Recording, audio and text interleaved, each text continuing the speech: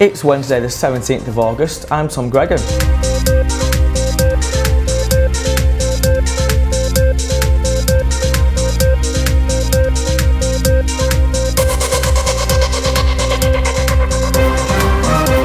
A man has been seriously injured after being hit by a car near the Snipe Retail Park in Ashton.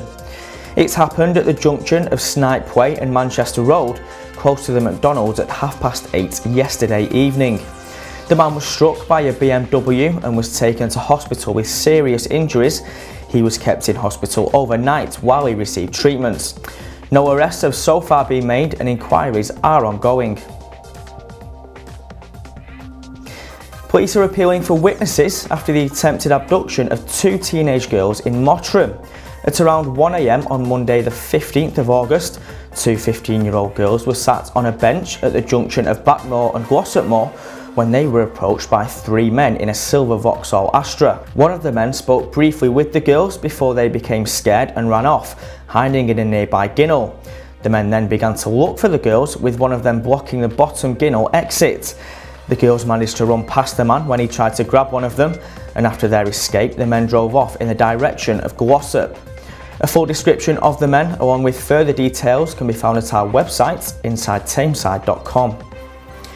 Tesco Glossop's fundraising champion is counting down the days before she starts climbing Africa's highest mountain. Geraldine Barlow is walking 70,000 kilometres up Mount Kilimanjaro in just a few weeks' time in aid of Diabetes UK and the British Heart Foundation. Last weekend, she and her colleagues walked the same distance on a step box and cross trainer to raise over £350. Combined with her other fundraising efforts, she has now made £1,744 for Tesco's charity partnership.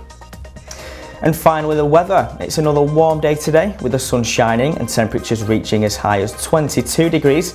And it's to be the same again tomorrow, but make the most of it because that's the last bit of sun we'll see for the rest of the week.